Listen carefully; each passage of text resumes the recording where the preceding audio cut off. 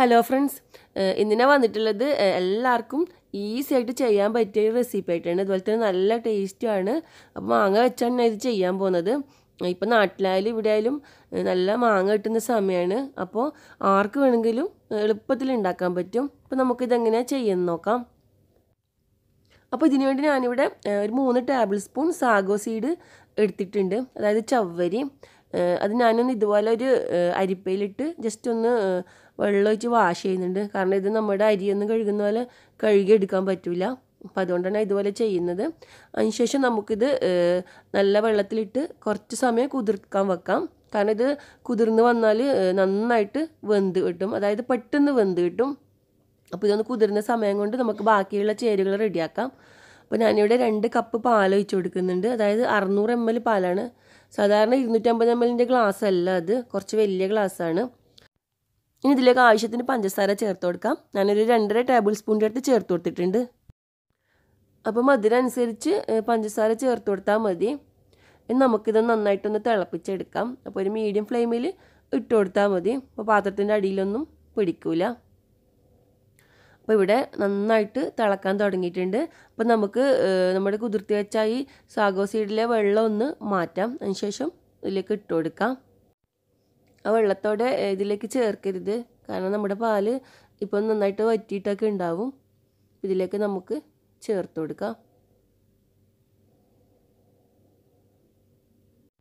ഇനി നമുക്കിത് ചെറിയ ഫ്ലെയിമിലിട്ട് ആ സാഗോ സീഡ് നന്നായിട്ട് വേവുന്ന വരെ കുക്ക് ചെയ്യാം.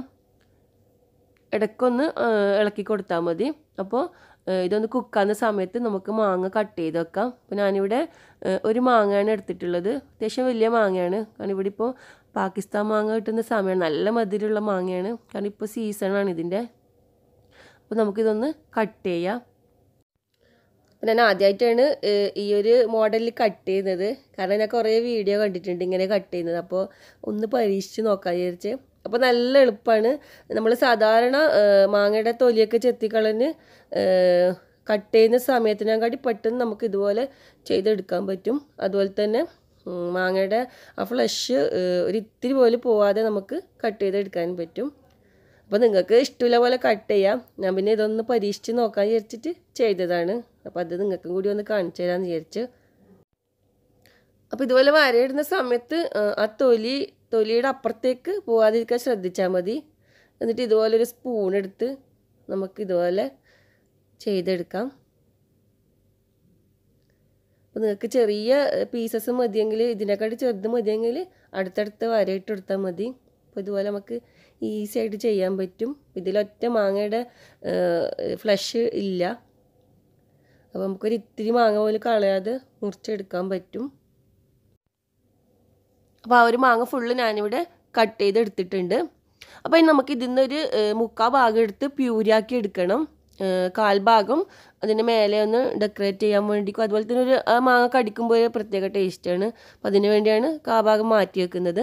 അപ്പോൾ ഇതൊരു മിക്സിയുടെ ഗ്രൈൻഡറിൽ ഇട്ടിട്ട് പഞ്ചസാര വേണമെങ്കിൽ ചേർത്ത് കൊടുക്കാം. പക്ഷേ ഞാനിവിടെ ചേർത്ത് കൊടുത്തിട്ടില്ല. കാരണം നല്ല മധുരമുള്ള മാങ്ങയാണ്. അപ്പോൾ ഞാനിവിടെ അത് പ്യൂരിയാക്കി എടുത്തിട്ടുണ്ട്. വെള്ളം ചേർക്കരുത്.